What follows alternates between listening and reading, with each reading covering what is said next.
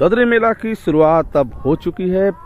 18 नवंबर से गंगा की महाआरती के बाद कार्तिक पूर्णिमा के दिन मेला पूरी तरह से तैयार होगा। गंगा तट के किनारे जहाँ ददरी मेला का आयोजन होता है वहाँ देखिए ये जो सर्कस की गाड़ियाँ जो हैं आ चुकी हैं। सर्कस लगाने की पूरी तैयारी चल रही है। आ, सर्कस आयोजक जो सर्कस संचालक हैं वो अपने पूरी टीम के साथ यहाँ पधार चुके हैं।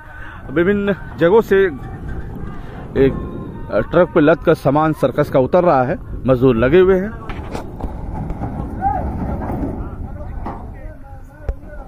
देख सकते हैं, सर्कस के आइटम जो है ददरी मेला में पहुँच चुके हैं।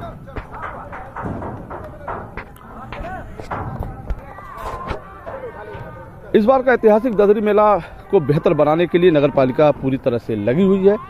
और पूरी तैयारियाँ चल रही हैं। और आज चौदह तारीख हो के मात्र चार दिन बचे हुए हैं। चार दिन में पूरी मेले में, पूरी पूरा मेला जो है बेहतर सुंदर बनाने के लिए नगर पालिका परिषद के लोग लगे हुए हैं।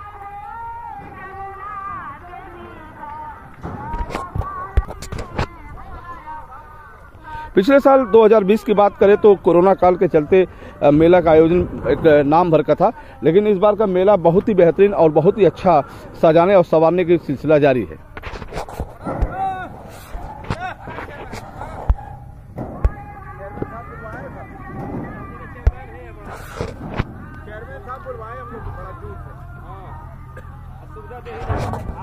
सुविधा भी दे रहे हैं। गाजीपुर से आया भाई